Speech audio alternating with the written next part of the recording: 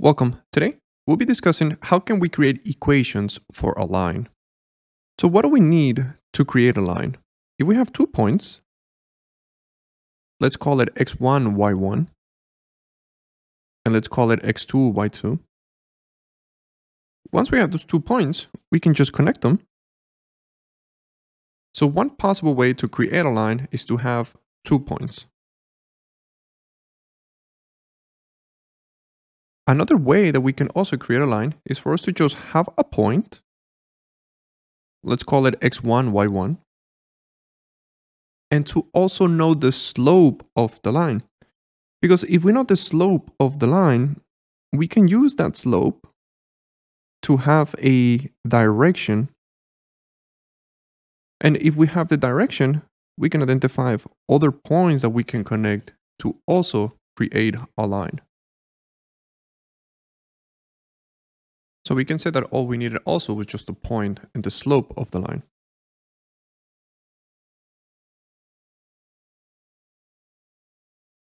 So now that we have a visual interpretation of what is needed to create a line, now let's discuss the possible equations that we can define for a line. So there are two ways to write a linear equation. The first form that we have is the slope-intercept form.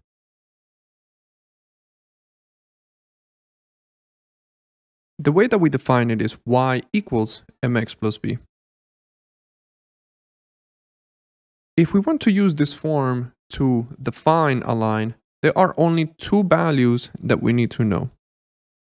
And that is m and that is b, where m represents the slope of the line and b represents the y-intercept of the line. The second form that we have is the point slope form. And it has the following form. y minus y1 equals m, parenthesis x minus x1. What we need, if we want to use the slope intercept form, we need three values. We need the value of m, we need the value of x1, and we need the value of y1. Where m is still the slope of the line, and x1, y1 is just a point in the line. Now, these two forms will give you the equation of a line. But when do you know which equation you need to use? Depending on what you have.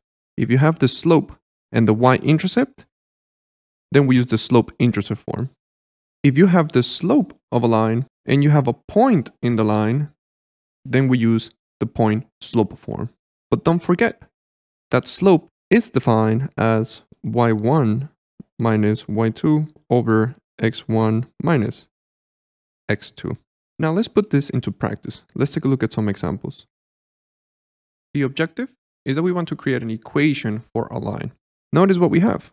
We have the value of the slope and we have the value of the y-intercept. So we can use the slope-intercept form. Which remember, that is defined as y equals mx plus b. Notice that what we need for this equation is the value of the slope, which we have it as negative 2, 7, and we need the value of the y-intercept, which we have it as 2. So all we got to do is just plug in these values within this form.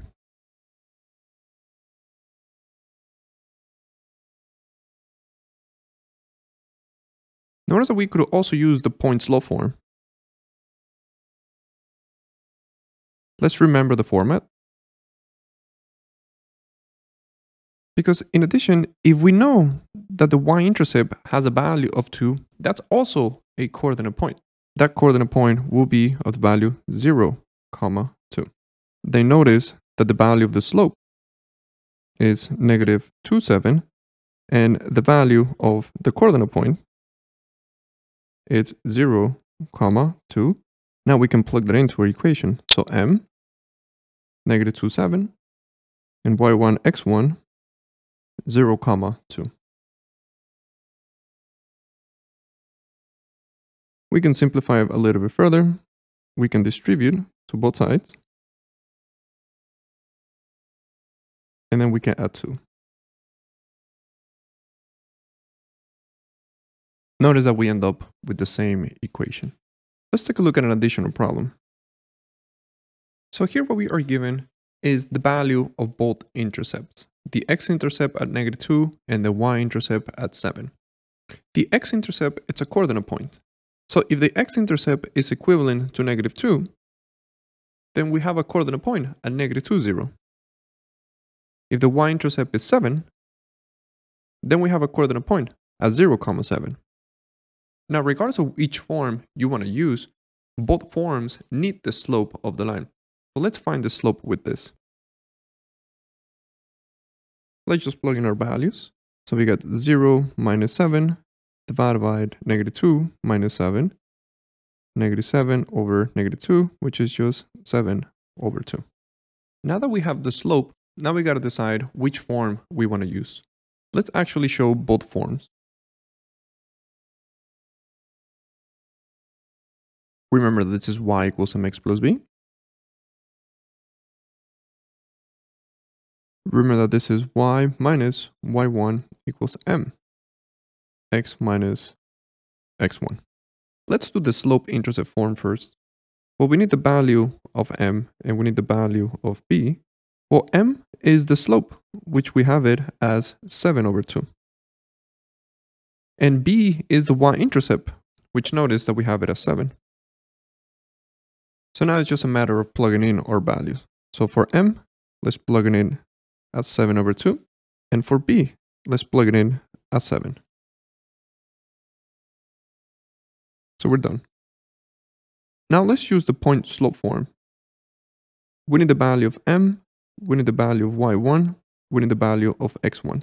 Let's start with m. Well, m doesn't change. m is still 7 over 2.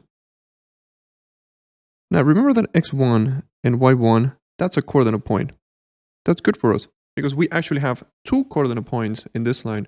So we only need to choose one of those two. I'm going to choose 0, comma 7. Now that we have that information, it's just a matter of plugging it in. m will have a value of 7 over 2, and x1, y1 will have a value of 0, comma 7. So let's plug in our values.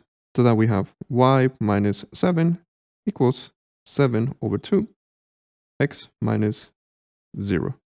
Then we can simplify. We can start by distributing this. And then let's finish up by adding 7.